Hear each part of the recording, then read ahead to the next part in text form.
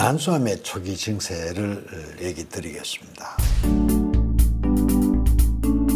암 중에서도 초기 증세가 없기로 유명한 게 난소암입니다.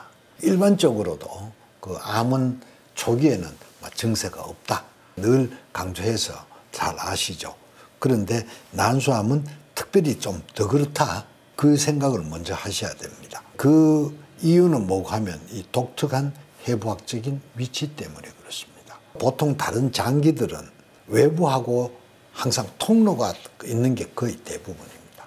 위나 대장이나 자궁이나 폐나 뭐 이런 거의 대부분 통로가 있는데 난소는 복강 안에 바로 나팔관 끝에 이렇게 서 있는 계란 같은 작은 장기입니다. 그게 이제 왼쪽 오른쪽 같이 있죠. 그런데 그것이 골반 안에 그냥 떠 있습니다. 떠 있기 때문에 이게 웬만큼 문제가 있어서는 외부적으로 크게 증세가 나타나질 않습니다. 난소는 여성 호르몬을 분비하는 매우 중요한 장기입니다.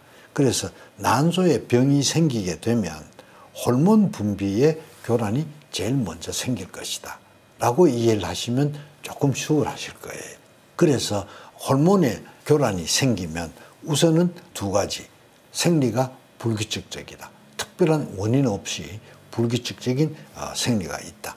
그 다음에 비정상적인 출혈이 생긴다. 이런 것이 있으면 꼭 부인과 서 한번 진료를 받아서 다른 문제가 없다는 걸 확인하는 그 일이 굉장히 중요합니다. 그 다음에 이제 여기에 제가 어, 비뇨기 증세, 뭐 골반 통증, 하복부 종괴 이렇게 해놨는데 그 뭐 난소에 병이 있는데 비뇨기 증세는 무슨 얘기냐라고 생각을 하실 수가 있지만 이 역시 보면 골반 안에 자궁이 있고 자궁 바로 옆에 이제 난소가 있다고 말씀을 드렸고요. 그런데 이 여성 장기 앞에 바로 방광이 있고 뒤쪽에는 직장이 있습니다. 그래서 난소에 병이 있으면 그 난소의 병변이 직장 쪽에 영향을 미치면 배변 습관의 변화가 올 수가 있고 그 다음에 이게 앞쪽으로 가서 방광을 자극을 하게 되면 방광에 관련된 증세가 나타날 수가 있다. 그 다음에 이제 골반에 뭔가 모르는 무죽함이라든지 그런 통증이 있을 수 있다. 그러면은 꼭 부인과 서 난소 질환도 한번 점검을 하셔라. 이렇게 얘기를 드릴 수 있겠고요. 난소에서는 난소 안쪽에서 암이 생기는 게 아니라 난소 표면에서 생깁니다. 난소는 골반 안에 자유롭게 떠 있기 때문에 표면에 생겼던 암이 복방 안에 쉽게 떨어져 나가서 여기저기 많이 떠돌아 다닐 수가 있습니다.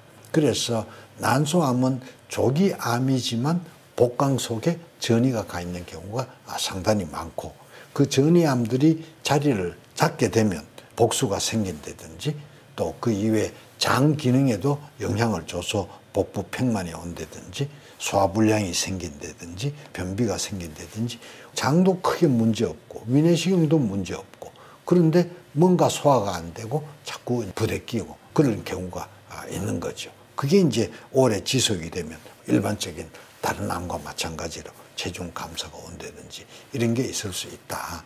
그래서 특히 난소는 조기암이 없다. 제가 늘 강조하는 암은 증세가 없다.